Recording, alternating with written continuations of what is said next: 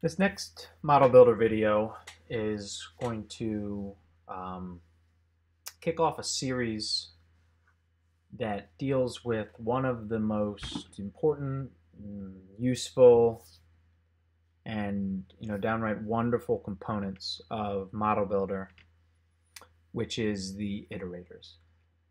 Um, iterators are really what take some of the stuff we learned in the last video, which is cool, you know, stringing together multiple tools that you use commonly.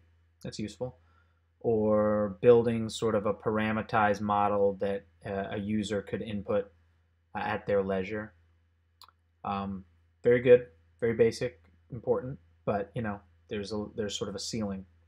But iterator really kind of comes in and, and broadens what you can do by allowing you to do things like build a model and then set it to duplicate its process for every shapefile you have in a folder, right? Suddenly something that might take you hours to do for 100 shapefiles, you build one model and it runs automatically.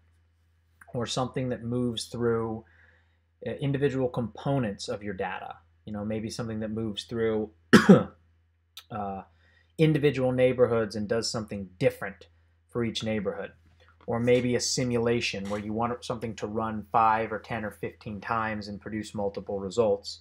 That's what an iterator is. And so iterator is probably going to have uh, two or three videos to just walk through some of the component parts um, of it. There are a number of, of things that you'll see uh, for the iterator, but we're really going to focus on three, um, you know, that offer, I think, the best example of its power. And the first is for, and For is exactly as it sounds. It's just maybe insert a number, 5, 10, 15, and the iterator will run through that many times um, a program. Uh, a common use of this might be, um, you know, for example, let's say you're modeling uh, land use change over time. And, you know, so you have land use in year zero, but then you do something, you build maybe a building and because you built that building, that would then impact what the land use looks like in year two, right? And then more buildings you build in year two would impact what they look like in year three, and so on and so forth. So that's For. Um, feature class, what we'll do next, but all of these are sort of the same. They're just using different inputs. What these ones do, dataset, feature class, files, raster tables, is they take files. They take inputs and they iterate all of them. So think about this like I have a hundred shape files and I want to do the same thing to each of them. That's what iterate feature class is. And the final that can take a little bit longer to wrap your heads around but is awesome and, and, and sort of a real fantastic tool is feature selection. And this is the thing that would allow you to move individually through your data. Like you could move through each point in the crime sample and do something different to each you could move through each neighborhood individually and do something different with each. A super useful tool when you know how to leverage it, and that'll be one of the last ones we show the video for. So, but the first thing I'm going to do is I'm going to iterate the feature, uh, or sorry, iterate, yeah, iterate feature classes. And the challenge I'm going to pose here is a simple one. In, in the data we have for today, I have a folder called crime months, and it has four types in it. It has April, February, January, and March and I might want to actually run, um, you know, a density for each. I, I might want to sort of see what the kernel density and the hotspots are like for crime in each month. Um, you know, but I'd love to be able to do it automatically I, rather than sort of run a density and then run a density and then run a density and then run a density. I'd rather just set up a template and tell my model to run the same process for every piece of data it finds here. Now, I'm only doing four, but imagine if this were 400, right? Maybe this was every month of crime for 10 years, and I wanted to be able to create something that would allow me to watch sort of the concentration change over time. So, what we'll do here is we are going to bring in an iterator to start, and we're going to bring in the feature classes. So, iterate feature classes. Uh, it's not no inputs right now, so it's gray but there's sort of three component parts. You have name, which is critical, uh, but we don't have enough information to know what it is yet. So just know in your mind that I'm going to return to that and that that's probably the most important part of the iterator.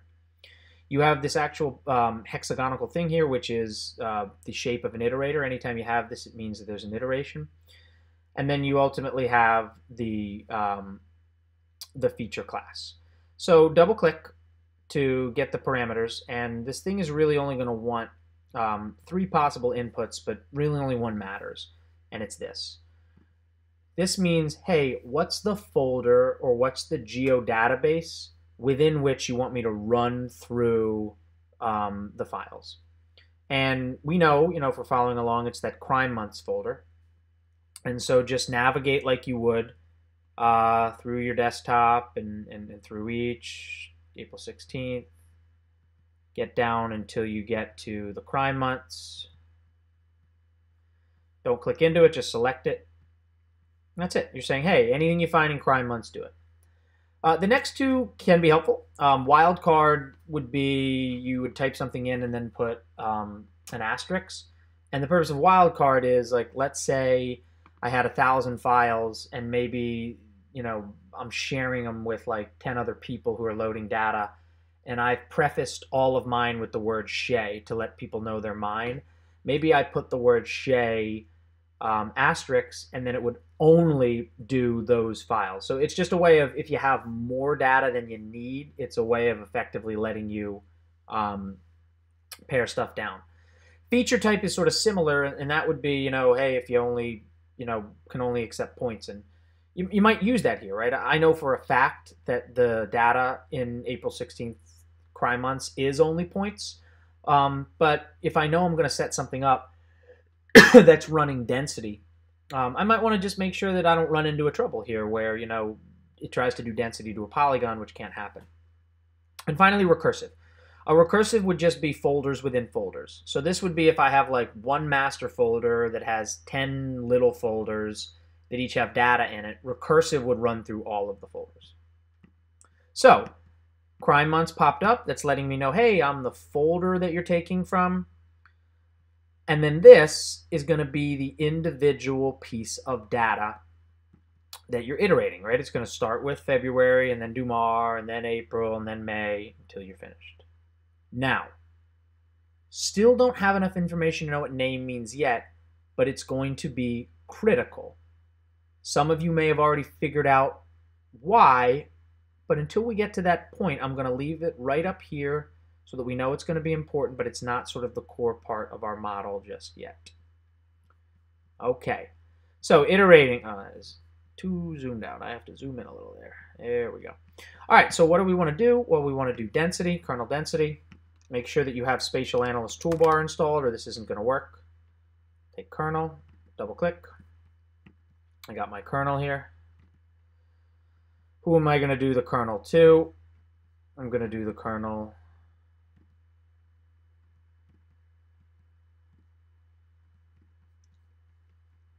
to that. So I will take you and drag you in. You're going to be my point. Great. I'm going to double click and I'm going to input the stuff. So I want everything to be the same. There's no population field. Uh, the output, maybe I'll just call it, you know, uh, I'll save it in, um, I'll create an output 16 folder and I'll save it as my dens, you know, my dense, my, my density. And, you know, maybe I'll make the cell size 50 feet for each of them. And the search radius will do something maybe like 2,000 feet. And then the other thing is I'm going to come in here to environments and just make sure that they're all the same size. I'm going to say, hey, the processing extent is going to be this crime sample, just to make sure that my raster uh, everything sort of lines up right on top of each other. So I got everything I need. February, that's just the first one, but it's going to iterate through each. No population field. It's going to save itself as my dens. And, you know, the output's going to be, uh, cell size is going to be 50. Uh, search radius is 2000. Now, this would be good to go. Theoretically, I could run this tool and it would work, but it would not give me what I want.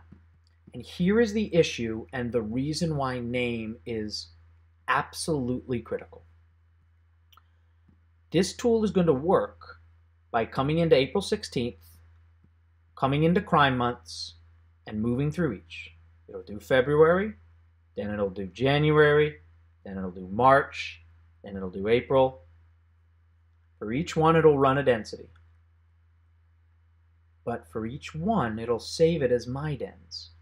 And hopefully you see the problem here. No matter what you pick, what name you give to the file, it's always going to save over. And so what would happen is whatever file I do last would be the only thing that would save. It's just going to keep overwriting, and I'm only going to get one density. I'm going to get something called my dens, which, you know, I'm not sure which one it'll be. It'll be whatever the last one is. So it's almost like you need a way to inform the tool so that it knows, like, hey, if I'm using April, maybe I'll take something from that file, like a name or a letter or an indicator that I can use so that when I save and run the density on April, the output will say April. And then when I run the density on February, the output will run. And that's where name comes in. You're going to do this through a super excellent, powerful, useful concept in Model Builder called inline variable substitution. Super simple to do you would put percent name percent. You could add other words if you want, dens, cheese, whatever. But what this means when the word name is between the percentages is it means I'll take whatever value is here. And the value here is going to depend on the iteration. So the first time when it's working with the February data, it'll be Febra. The second time, it'll be Jan. The third time, it'll be March. The fourth time, it'll be April. I'll get four files. Nothing will overwrite each other, and it will give me exactly what I need. If I change that name to cheese or blargen or nine, I would simply have to make sure that I change this as well. Inline variable simply needs to match up with one of the variables exactly here to take its value as long as it's between the percentages. Now I can click on this name because that's really what I care about. I can add them to display, save it, and now if I run, sometimes the add to display doesn't always work, but even if I run, I'll be creating four files, and one, and two, and three. Unclear why you use percent name. Your name should be Jan, March, or Feb. I'll have to see if this is like an alias problem or what the deal is. Yeah, it seems like Arc Pro is being a weird